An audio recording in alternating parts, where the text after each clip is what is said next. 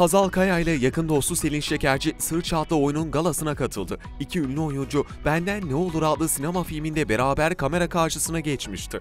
Kolay gelsin. Teşekkürler, hoş geldiniz. Ne güzel böyle, Böyle- oyun galalarında görmek sizi. Benden ne olurdan sonra yine beraber görmek sizi çok güzel oldu. Filmle ilgili neler söyleyeceksiniz? Güzel bir gişe almadı ama izleyenler çok beğendi.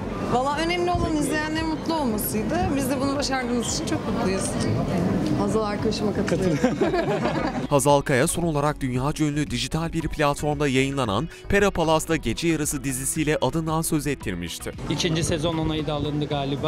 Galiba Şey- bilmiyorum ben. ha, Ya al- alınmıştır diye umuyoruz yani çok sevdiğimiz için. evet nasıl geri dönüşler oluyor? Valla keyfimiz yerinde. Dünya listelerinde çok iyi bir noktadayız. İşte dünyanın her yerinden çok güzel yorumlar alıyoruz. Vesaire biraz onlara haber yapsanız çok isteriz. Çünkü çok heyecan verici olanlar. Ee, o yüzden şey mutluyum. Siz izleme fırsatı buldunuz mu Pera Evet, Palas'ı evet. gece? Biz- Nasıl buldunuz? Galadan önce Hazal'la beraber izledik. gece. Gece. Gece yarısı. Ben de izledim. Ben çok beğendim. Ee, aşırı beğendim. Hazal'ı da çok beğendim, Selahattin'i de çok beğendim, Tansu'yu da çok beğendim. Çok güzel bir iş, çok sürükleyici. İnsan takip bir, bir noktadan sonra Hazal'a şey dedik, seni izlemiyoruz şu an. Diziye takıldık, çok özür dileriz diye. Çok güzel iş.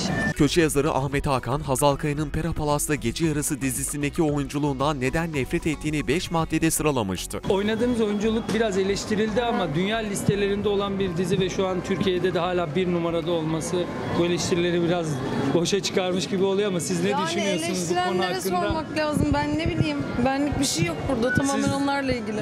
Siz bu düşünceleri nasıl buluyorsunuz? Herkes eleştirebilir, herkesin kendi zevki tabii ki ama ben bunu birazcık birazcık kötü niyetli bulmaya başladım. Çünkü e, ben Türkiye'de hiçbir oyuncunun üzerine bu kadar gidildiğini de görmedim. O yüzden ben bunun bir kötü oyunculuk meselesinin dışında bir şey olduğunu düşünüyorum. Daha fazla konuşmayayım.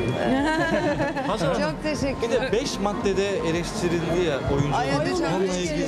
Hiç o- almaya bile gerek yok. O Çok zaman gecemize teşekkürler. dönelim. Sırça, Aslı Enver'in, e, İpek Hanım'ın başrolünde olduğu. Evet. Evet. Neler söyleyeceksiniz? Güven, e, benim en yakın arkadaşım yönetiyor İbrahim Çiçek. Güven de öyle yakın arkadaşım zaten. Aslı ve İpek'i de sahnede çok merak ediyoruz. Çok tatlı ve heyecanlı bir prova süreci oldu. Birazcık biliyoruz, e, duyduk. O gün geldi sonunda. Çok da heyecanlar. Biz de heyecanlarına eşlik etmeye geldik. Siz neler söyleyeceksiniz Hanım? Valla çok sevdiklerimizin bir araya gelip yaptığı bir iş bu. Ee, o yüzden biz de onlar kadar heyecanlıyız. Bekliyoruz bakalım. Sizlerin yeni projeleri olacak mı peki? Sizin hani bir dizi görüşmesi var mı? Televizyon ya da Bir dijital şey alanda? olursa duyarsınız zaten yani. Bir Siz Selin-. İnşallah, inşallah göreceğiz bakalım. Kolay Sürprizler mi gelsin var? size. Yani inşallah. Oyundan önce bir şey yapalım. Çok Peki teşekkür ediyoruz. İyi ederiz. günler. Kolay gelsin. Sağ olun. Biz normal.